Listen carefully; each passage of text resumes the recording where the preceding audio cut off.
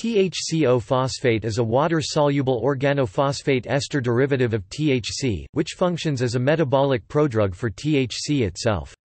It was invented in 1978 in an attempt to get around the poor water solubility of THC and make it easier to inject for the purposes of animal research into its pharmacology and mechanism of action.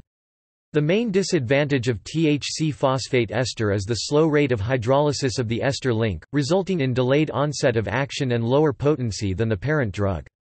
Pharmacologically, it parallels the action of psilocybin as a metabolic prodrug for psilocin. THC phosphate ester is made by reacting THC with phosphoryl chloride using pyridine as a solvent, following by quenching with water to produce THC phosphate ester. In the original research the less active but more stable isomer delta-8 THC was used, but the same reaction scheme could be used to make the phosphate ester of the more active isomer delta-9 THC.